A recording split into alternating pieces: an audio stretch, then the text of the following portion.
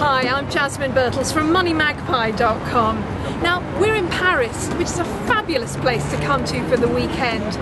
Costs a bit of money though, although it is possible to do it on a budget if you're clever. So, watch this report from my friend, international travel expert Ron Stern, the global gumshoe.